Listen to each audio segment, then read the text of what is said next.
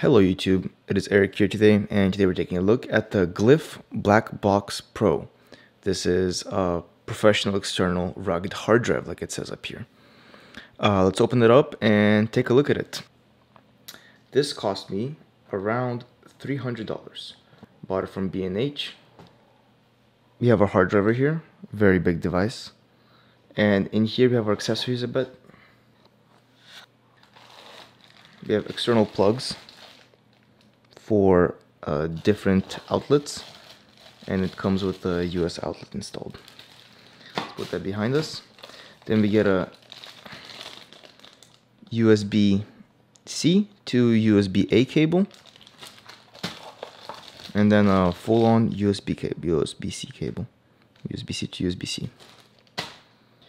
Now let's pull out the hard drive. Under the hard drive we get papers. Let's take this off. It's like happy, please share.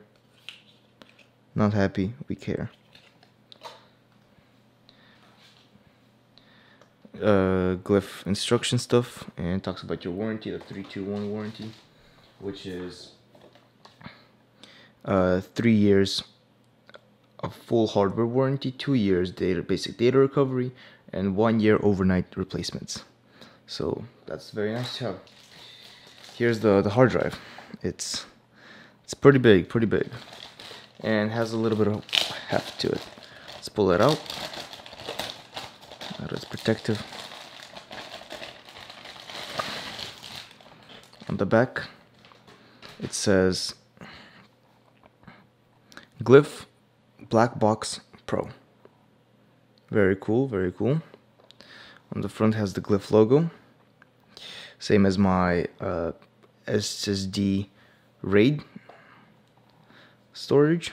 On the back over here you can see it's the connector ports.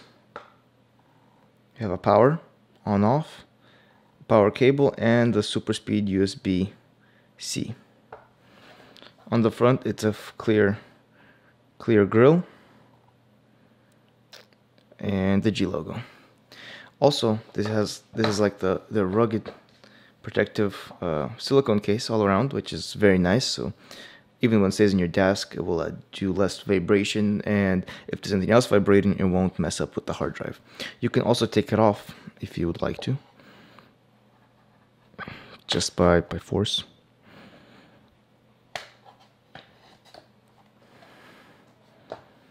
Then you have a more slim uh, hard drive. Here's the case. Very rugged, very nice, high quality silicone. And now this looks way more uh, desk worthy, but I would I would keep it in the case either way because it, it's a protective case and it will like like I said help protect it from vibrations and stuff.